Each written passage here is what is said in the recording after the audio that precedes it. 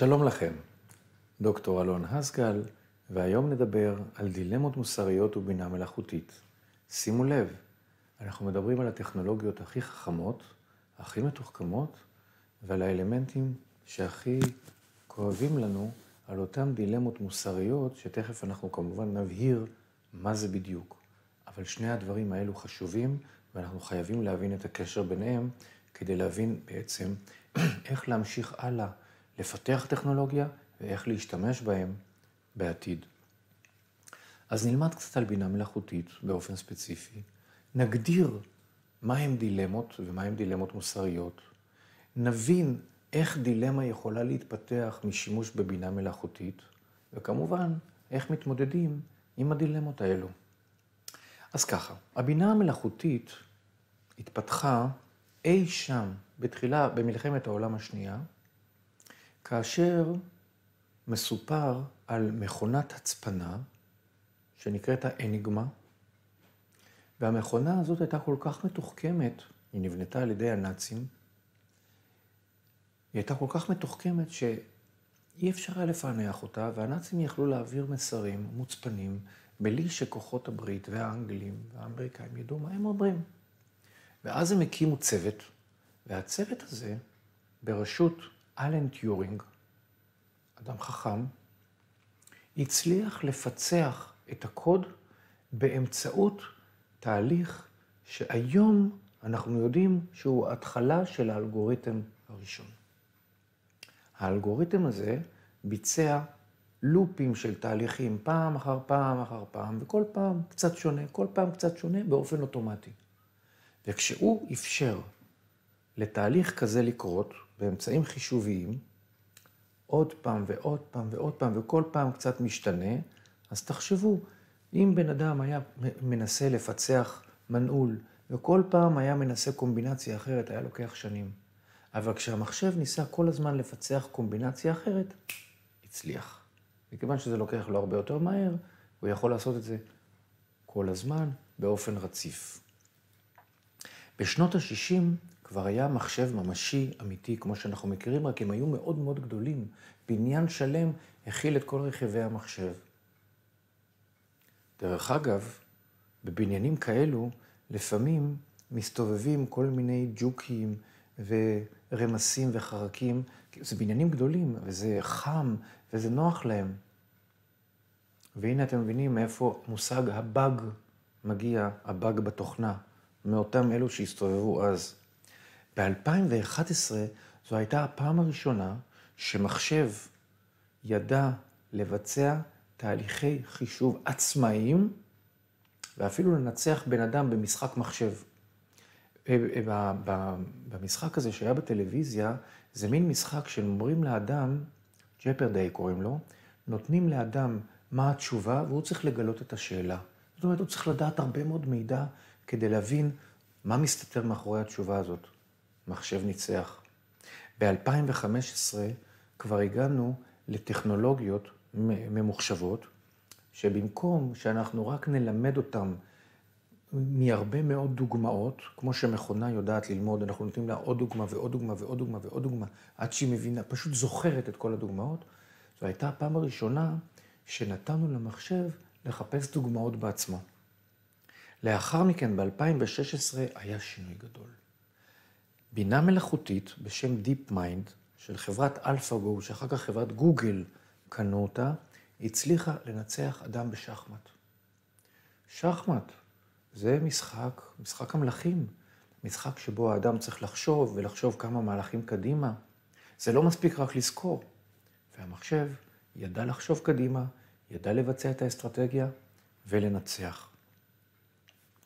ב-2017 כבר התפתח, התפתחה למידה עמוקה שבנויה על רשת נוירונים, שבנויה בעצם כמו מוח האדם. למידה מאוד מיוחדת, שונה. באותה שנה המחשב גם ניצח במשחק שנקרא גו, משחק סיני, עתיק. אבל במשחק הזה, המיוחד בו, שלפעמים אתה צריך לבצע מהלכים במשחק שהם לא מבוססים על מידע קודם, אלא על אינטואיציה. והמחשב כבר ידע לנצח, ללמוד בעצמו ולנצח.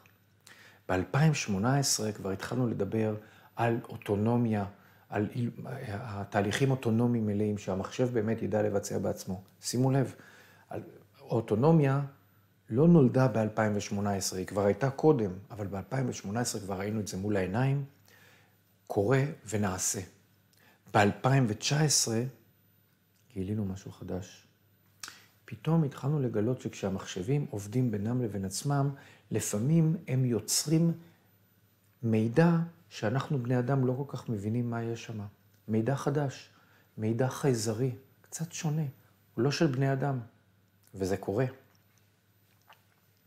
פרופסור ריק קורצל מדבר על כך שהמחשב כל כך התפתח, שבשנת 2040, עוד 20 שנה, יהיה מחשב שידע את כל מה שבני אדם יודעים. מחשב אחד. והמחשב הזה יפעל בתצורה של מידע, זאת אומרת, הוא ידע לנתח המון המון מידע, והוא יעשה את זה כל כך מהר, שבעצם כל שאלה שקיימת, שהייתה קיימת, הוא כבר ידע. הוא ידע גם להסיק על נושאים חדשים. האם המחשב הזה יהיה יצירתי? לא יודעים. האם הוא ידע לעשות דברים שלא היו קודם? לא בטוחים. אבל הוא ידע את כל מה שבני אדם יודעים עד היום. וזו כבר שאלה מעניינת. האם אנחנו רוצים להגיע למצב הזה? מרכיבי, הבינה המלאכותית היום, כבר היום, מכילה בתוכה לא רק סתם מידע. אם תסתכלו על הגרף הזה, אתם תראו שהיא מכילה פרטים מאוד מעניינים, גם לגבי טקסטים, גם לגבי תמונות, גם את היכולת לאסוף מידע ממקומות שונים ולחלק אותו מחדש. לנתח את המידע ולהוציא מסקנות. גם להעביר אותו לדיבור. גם לשמוע דיבור ולהעביר אותו לטקסט. ואפילו לשמוע דיבור ואולי לנחש איזה תמונה צריכה להיות. זאת אומרת, אני נותן הסבר מה, איזה נוף אני רוצה לראות, והמחשב יצייר לי את הנוף. הוא יודע להבחין ולהבין איך לתרגם את המילולי לוויזואלי. הוא יודע בעצמו גם להגיע עד עומק המידע, ואפילו לייצר תהליכי למידה מעצמו, כמו שאמרנו מקודם. הוא יודע גם לבצע התאמות בין תמונות ולזהות תמונה ולזהות את התמונות שקשורות אליה, או תמונה של בן אדם, לזהות אותו מתוך המון, הרבה מאוד אנשים. היכולות האלה כולן נמצאות היום בידיים של הבינה המלאכותית ובידי אלו שמפעילים. השאלה, מה עושים? אז אנחנו מכניסים כאן יכולות של חישוביות, יכולת חישוביות מאוד מאוד גבוהה, של קישוריות, לקשר בין פרטי מידע, לקשר בין טקסט לתמונה, לקשר בין מאורעות שהיו בעבר למה שקורה כרגע. למחשב יש יכולת טכנית מאוד גבוהה, הוא יכול, הוא יכול לבצע פעולות מיידיות, הוא גם יכול לעבור על מאגרי מידע, הוא יכול לסדר את מאגרי המידע. הדברים האלה עוזרים לו להגיע מהר מאוד לפתרון ולפענוח. ביום-יום, הבינה המלאכותית עוזרת לנו להפוך הרבה מאוד פרטי מידע להחלטות, לפתרונות. הוא יודע לקש... לקחת הרבה מאוד פרטי מידע, כמו שאמרנו, כולל מידע שלא קשור אחד לשני. זמן, מקום, אנשים, לחבר אותם ולהגיד, אוקיי, האדם הזה היה בזמן מסוים במדינה מסוימת, בתאריך מסוים הוא עבר מהמדינה הזאת למדינה אחרת, הנה אני מזהה אותו שם, בשדה התעופה, ואז הוא מגיע למדינה שלישית ואני מזהה אותו שם, ומאחר והוא עשה את זה במספר ימים, והוא עשה את זה במהירות, זה, זה המקצוע שלו, או נגיד הוא מקצוע של איש מכירות, הוא, המזוודה שלו שקלה בהתחלה שמונה קילו ואחר כך עשרים קילו, אז המחשב מעריך שהוא כנראה העביר מוצרים ממקום אחד למקום שני, ומאחר והמזוודה שלו שקלה רק שני קילו כשהוא חזר, אז כנראה שהוא עשה מכירה מוצלחת, אז המחשב ישלח לו, כל הכבוד, מכרת. פשוט היסק של איזשהו תהליך. הוא יודע לתרגם דיבור לפעולה, כמו שאמרנו, לשלב מידע מחיישנים רבים, לחפש עצמאית מושגים באינטרנט, ללמוד את התנהגות המשתמש. הוא יכול לבצע כל פעולה טכנית, כל פעולה שמבוססת על מידע.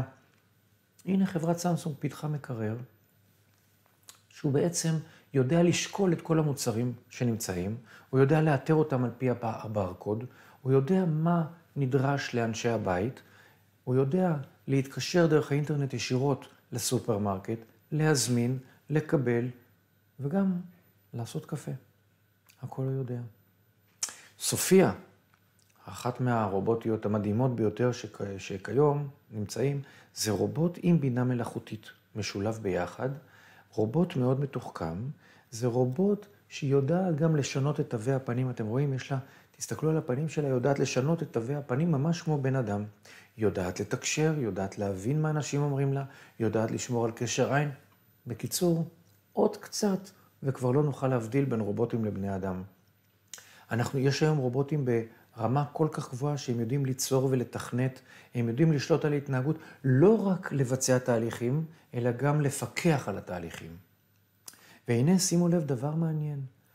נתנו לרובוט בינה מלאכותית לחפש באינטרנט ולנתח מניה של חברה קטנה.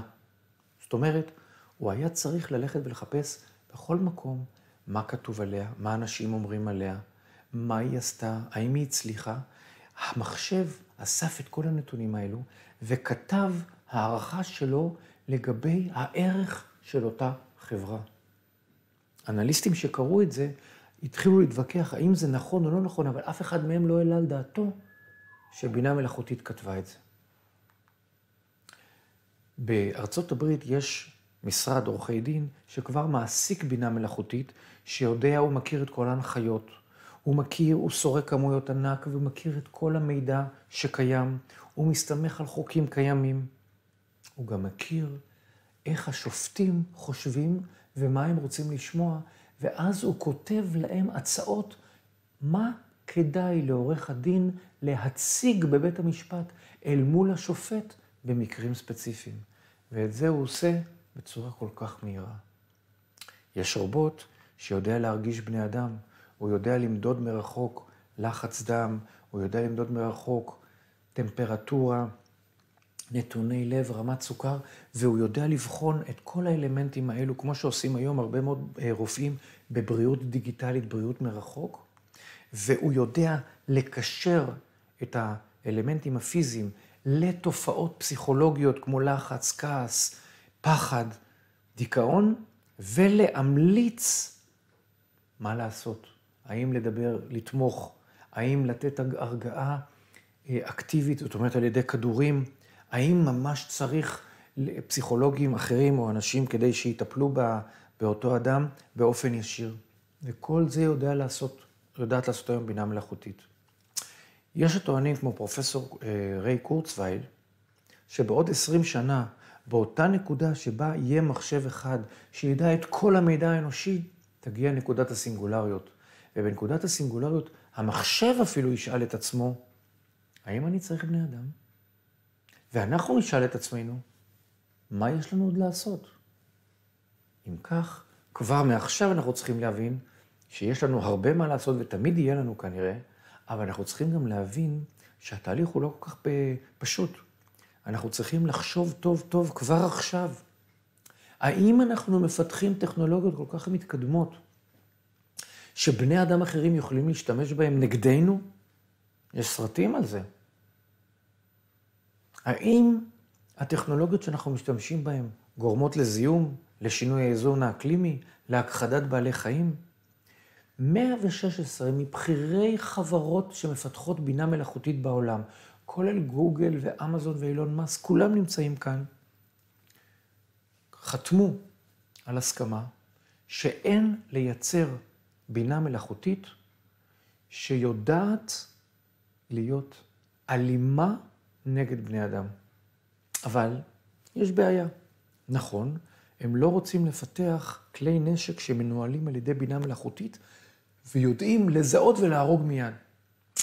אבל גם אם הם לא יעשו את זה, ישנם ממשלות שהחליטו שהן כן רוצות. אז הם פנו לאו"ם ואמרו, בואו נעצור את הכל. לא כולם נענו לזה. אם כך, אני רוצה שתחשבו כרגע על איזושהי משימה.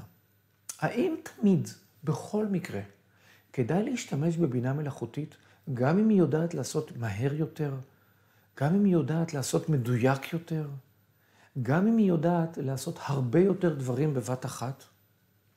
אני מבקש שתיקחו, תנסו לחשוב על שלוש דוגמאות.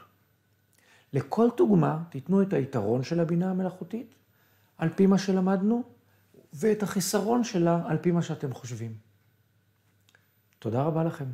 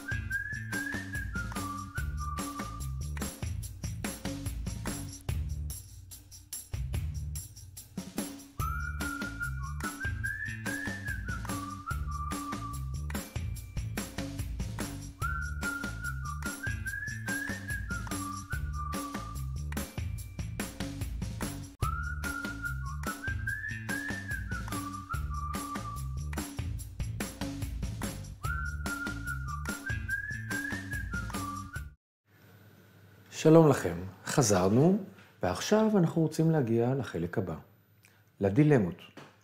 אותן דילמות שנובעות בעקבות שימוש של טכנולוגיה כל כך מתוחכמת שדיברנו עליה קודם.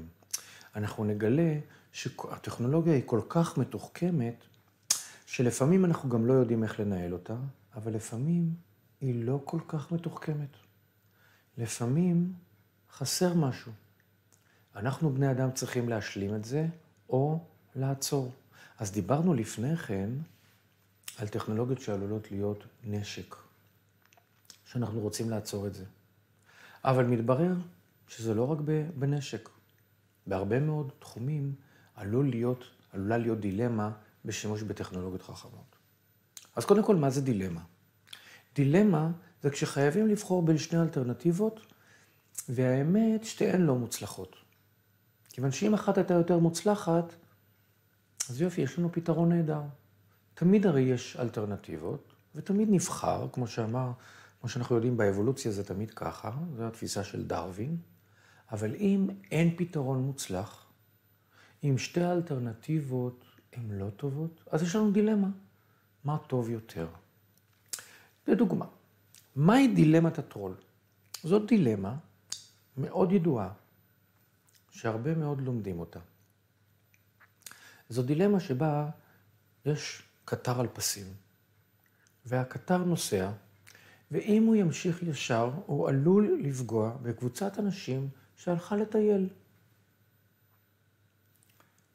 ואם הטכנאי ימשוך את הידית, הקטר יפנה ימינה. ומימין הוא יודע שיש שם תקלה. בן אדם נתקע עם המכונית שלו על הפסים. ואם הוא, הרכבת תפנה ימינה, היא תדרוס אותו. מה עדיף?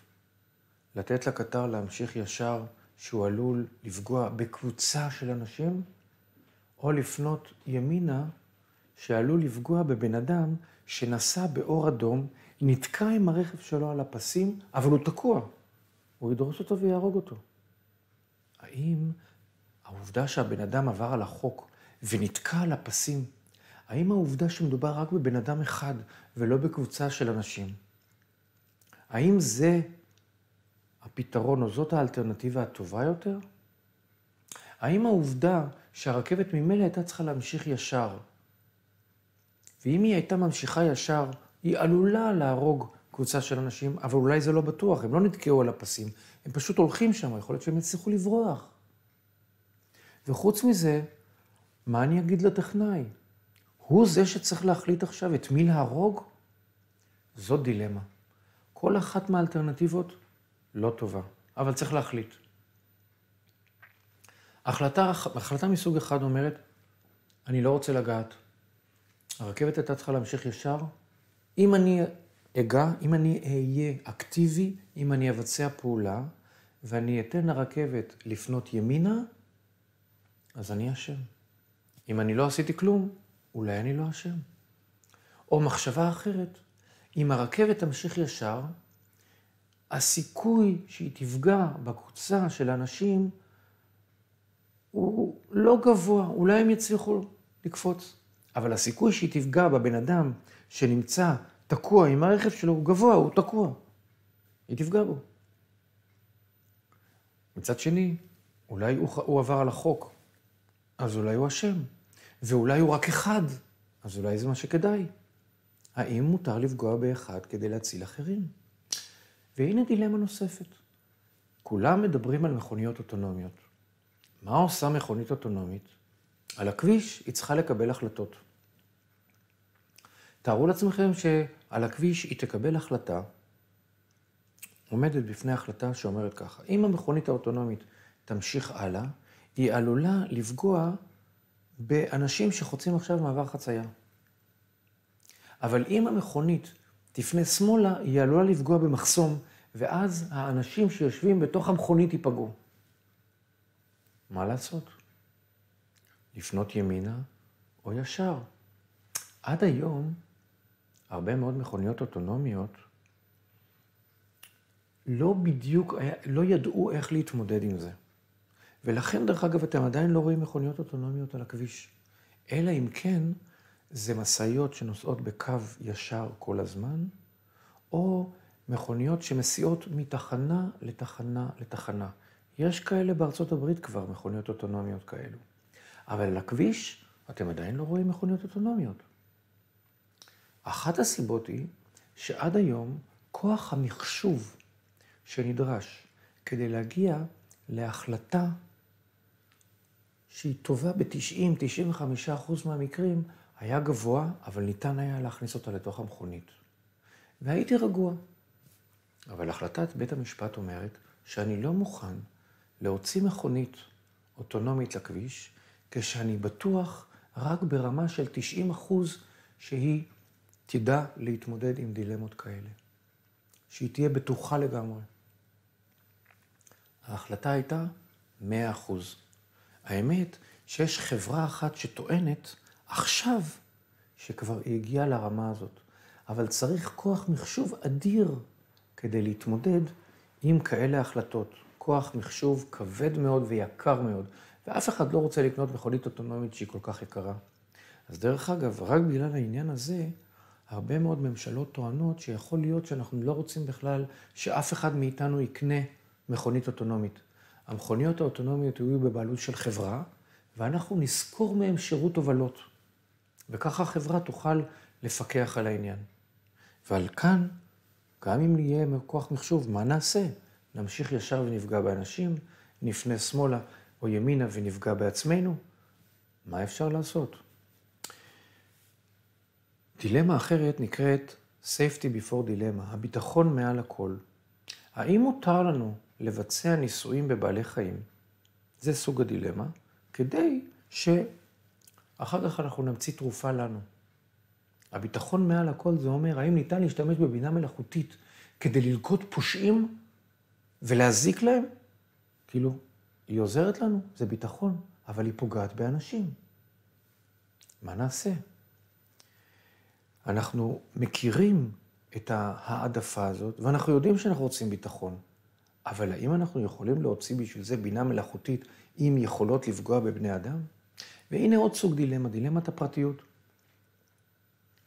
נשמע מצחיק, אבל חברת פייסבוק הוציאה, זה כמובן בדיחה, אבל הוציאו עליה, שהם, אם תסתכלו על התמונה הימנית, הם רוצים לשכור אנשים לעבודה. אבל הם אומרים, אל תשלחו לנו קורות חיים, אנחנו כבר יודעים הכל עליך. וואו. האמת היא, יש מצב שהם יודעים. או מצד שמאל אתם רואים כאן תמונה של אנשים שנמצאים ברחוב או בשדה התעופה, שבינה מלאכותית נמצאת בתוך מצלמה ויודעת לזהות פנים, את הפנים להשוות למידע מהאינטרנט, לתעודות ממשלתיות ולדעת עליך הכל. ישנן מדינות שכל האזרחים חייבים להפנות את הפנים למצלמה, והמצלמה מצלמת כל הזמן כדי לעקוב כל הזמן אחרי אנשים. האם המעקב הזה הוא טוב? המדינה טוענת שהיא עוזרת לאנשים ככה, שיש להם הרבה יותר ביטחון, שהיא יכולה גם להתאים להם אה, פתרונות אישיים, שיכולה לעזור להם אם היא תדע איפה הם נמצאים. יש חברות גדולות מאוד, כמו גוגל, שעוזרות לנו באמצעות Waze, Waze נקנתה על ידי גוגל, אבל בתמורה היא יודעת איפה היינו בחודש האחרון. מדי פעם אני מקבל מהחברה דוח איפה ביקרתי, וכשטסים בעולם, גם באיזה מדינות הייתי, כמה מיילים עשיתי. דוח שלם. טוב, לא טוב, אני כבר לא יודע. סנודן היה אחד מהאנשים שהצליח להתלבש על מידע חסוי ולגלות לכולנו שחברה אמריקאית בשם NSA, ה-National Security Agency, נעזרת בבינה מלאכותית, ודרך אגב, זה לא רק ארצות הברית, זה מדינות דוברות אנגלית, עוד כמה מדינות, כולם ביחד נחשפים להמון המון מידע, אוספים מידע, מנתחים את המידע, ויש להם יכולת לעקוב אחרי טלפון, טלפונים סלולריים ספציפיים כמעט בכל מקום בעולם. זה לצורכי ביטחון? ברור. האם ניתן להשתמש בזה לצרכים אחרים? ברור. אז מה נכון? המידע שרשתות חברתיות אוספות עלינו, כמו פייסבוק, הוא עצום, ראינו את זה מקודם. האם אנחנו נרצה לתת להם מידע? האם אנחנו נרצה להשתמש בשירותים שהם נותנים לנו? השירותים מאוד נוחים. זה מאפשר לנו לתקשר אחד עם השני. אנחנו יכולים לקבל המלצות, אנחנו יכולים להחליף תמונות, אבל אנחנו נותנים הרבה מידע עלינו. אין פרטיות. טוב, לא טוב. דילמה נוספת נקראת המציאות המנוהלת. ready to hand דילמה, כך זה נקרא. ולדוגמה, אתם רואים את המחשב, המחשב הזה הושק ביפן, קוראים לו פפר. המחשב הזה עושה את כל עבודות הבית.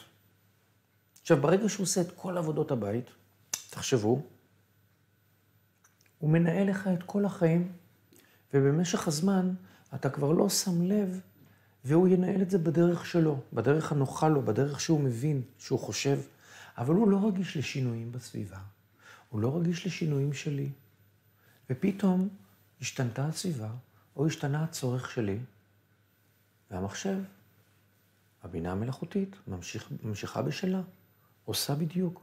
שימו לב, הרובוט הזה הושק, ותוך דקה כל המלאי נגמר. יש הרבה רובוטים כאלה כבר.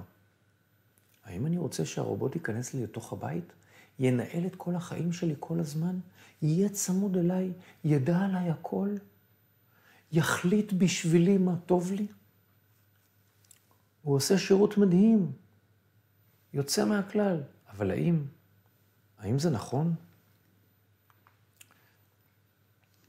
הבינה המלאכותית יודעת, וזה למדנו כבר בעבר, יודעת לבצע דברים במקום בני אדם. היא יודעת להחליף אותנו בעבודות אחרות. היא יודעת לתת תועלת כלכלית. האם זה מוסרי לפטר, לפטר בני אדם? האם זה מוסרי להכניס בינה מלאכותית ורובוטיקה ואוטומציה במקום אנשים שמאבדים את מקום עבודתם? תחשבו רגע מה עומד לקרות עכשיו. מה עלול להיות? יש מגפה. אנחנו רוצים להתמודד עם מגפה כלל עולמית ומפחדים מקרבה בין בני אדם, מכיוון שאנחנו עלולים להדביק אחד את השני. אבל יש מקצועות שהיו מבוססות על מגע אישי, כמו אוכל, מסעדה. או תרבות, אתה בא להצגה, אתה הולך לפאב. מה עושים? מי ייתן לנו שירות? אולי, אולי רובוטים ייתנו לנו שירות. אולי, אולי ניכנס לווירטואל ריאליטי ונעשה מסיבה בתוך עולם מדומיין, וככה כולם יכולים להיות ביחד בלי להיפגע אחד עם השני. זאת אומרת שהמון אנשים שהיו לפני כן, לדוגמה, נהגים, פוטרו מכיוון שהמכוניות אוטונומיות ולא צריך. ויחד איתם מורה נהיגה ובוחני נהיגה ומוסכים, שעכשיו יטופלו, המכונות האלה יטופלו בצורה שונה על ידי החברות עצמן, וכל מה שהיה סביב זה ישתנה. המון אנשים יצטרכו לאבד את מקום עבודתם או להחליף. אז למדנו בעבר שאנחנו חייבים ללמוד כל הזמן, להשתפר, להתמקצע וללמוד עיסוקים חדשים רלוונטיים. אבל האם זה מוסרי בכלל לעשות את זה? ואיך בכלל מתמודדים עם דילמות מוסריות? שימו לב, לפני כשנה חברה, עובדי חברת גוגל החליטו שהם לא מוכנים לבצע פעילות מסוימת ויצאו לשבות. על מה הם שבתו? הממשל האמריקאי ביקש מחברת גוגל לעזור לו בפעילות מסוימת של מצלמה, שיודעת לזהות תמונות, כדי להכניס את זה לתוך הטיל שאתם רואים כאן, שהוא טיל אוטונומי, שמהרגע שאתה מעיף אותו, הוא שט בעצמו, יש לו טילונים קטנים, הוא יכול להתמקד בנקודה מסוימת, ובאופן עצמאי להחליט, מדובר כאן ביחידת טרור שצריך להשמיד, ולעשות את זה בעצמו. עובדי חברת גוגל אמרו עד כאן. אנחנו חושבים שצריך לשפר את הנשק ואת ההגנה, אבל לתת למכונה עם בינה מלאכותית חכמה את האפשרות להחליט ללא אדם שנמצא בתוך הלופ, ללא אדם שמסתכל על התמונות של הבינה המלאכותית והוא מחליט אם צריך להרוג, אלא לתת לה את זה באופן ישיר, הם לא מוכנים. הממשל האמריקאי אמר שאם אדם יהיה בתוכו, הוא יעכב את התהליך עד שהוא יראה ועד שהוא יחליט, ויחליט אם זה כדאי או לא כדאי. זה מסוכן. הטרוריסטים יברחו. אנחנו רוצים לתת לטיל הזה, לבינה המלאכותית שנמצאת בטיל, את כל היכולות להבחין מיהו יהיה הטרור ולתקוף אותו בלי שהוא יוכל לברוח. דילמה? עובדי חברת גוגל אמרו, אין דילמה. אנחנו לא מוכנים, גם אם מדובר ביעד טרור, מכיוון שמדובר כאן בלתת לבינה מלאכותית את ההחלטה להרוג בני אדם. אבל זו דילמה, מכיוון שהממשל האמריקאי, יש הרבה צדק, הרבה פעמים טרוריסטים יכולים להרוג הרבה מאוד אנשים, ואם אני הצלחתי להגיע אליהם רגע לפני ולעצור אותם, הצלתי הרבה מאוד אנשים. אבל נתתי לבינה מלאכותית את היכולת להרוג, ואת זה הם לא הסכימו. אז מה גבול ההחלטות? האם אפשר לתת לבינה מלאכותית להחליט על חיים ומוות? זאת אומרת, האם אפשר לתת לרכב אוטונומי להגיע לכביש, והוא יצטרך להחליט את מי להרוג? האם אנחנו רוצים בכלל דבר כזה? האם אנחנו רוצים נשק שידע להגיע לטרוריסט רגע לפני שהוא הורג כל כך הרבה אנשים ולתת לו את האישור להרוג? האם אנחנו רוצים בינה מלאכותית לשים בתוך מפעל שבלית ברירה הוא צריך עכשיו לפלוט זיהום לאוויר כדי להציל את כל מה שיש בתוך המפעל, אבל הזיהום הזה יכול להרוג אנשים אחרים, וכל זה נעשה רק בהחלטה של בינה מלאכותית? זה קרה. רכב אוטונומי של חברת אובר הרג הולכת רגל, מכיוון שאחרי שחקרו את הכל, הוא החליט שהולכת הרגל התנהגה בצורה מוזרה. היא התנהגה לא כמו בן אדם, ולכן הוא הרשה לעצמו ללכת עם זה. אז גם במדינת ישראל קמה ועדה שבראשות פרופסור קרין נהון, תת-ועדה הזאת אה, מיפתה קוד אתי לטכנולוגיות חכמות. והיא זו שטענה מתי מותר ומתי אסור. בנוסף, תקן 10218 של איזו הוא תקן של טכניקת פעולה אדם ומכונה. איך משלבים, וחייבים לשלב. מכונה לבד לא, ככה מתמודדים. אדם בתוך המעגל קבלת החלטה. בגרמניה יש קוד אתי למיכון אוטונומי. הם אומרים איך לעשות את זה. מנכ"ל גומי, גוגל גם הוא דיבר על זה. והנה שימו לב, הוועדה, התת-ועדה לבינה מלאכותית קבעה את שבעת האלמנטים האלו כקוד אתי בתעשייה.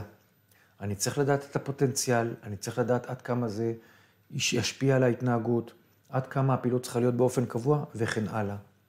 אני לא רוצה לקרוא, אני רוצה שאת הקוד האתי הזה אתם תלמדו בעצמכם. והנה התרגול על הקוד האתי. מכאן, אתם רואים כאן את קוד QR, הוא בעצם מכיל את כל שבעת השאלות של הקוד האתי, כך שאתם יכולים להוריד את זה לסמארטפונים שלכם, ותענו על השאלה הבאה. האם טכנולוגיה עוזרת לעקוב אחרי פעילותם של אנשים מבוגרים על מנת לעזור להם בזמן צרה, היא מוסרית.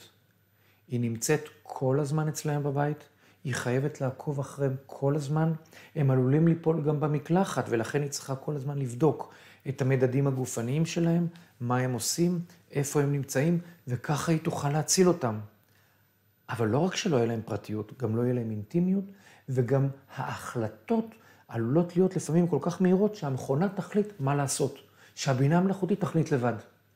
והשאלה שאני שואל אתכם, האם זה מוסרי? אבקש שתנהלו על זה דיון ותחשבו על הנושא ותענו. תודה רבה לכם.